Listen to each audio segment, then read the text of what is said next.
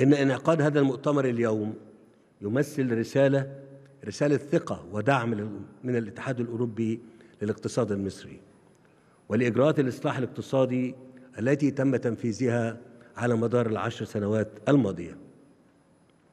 وتحرص الدولة على مواصلة تنفيذها خلال الفترة المقبلة وبما يعكس نجاح تلك الخطوات ويؤكد قدرة وإرادة مصر على تخط- تخطي التحديات الاقتصادية والمضي قدما نحو تنفيذ خطة التنمية الشاملة.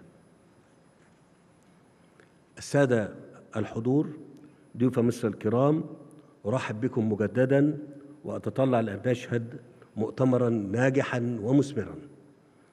يحقق نتائج ملموسة وقابلة للتنفيذ تعزز من التعاون الاقتصادي بين مصر والاتحاد الأوروبي وتسهم في زيادة مستويات تدفق الاستثمارات الأوروبية للسوق المصري بما يحقق الرفاهية والأمن والاستقرار لشعوبنا ودولنا أشكركم.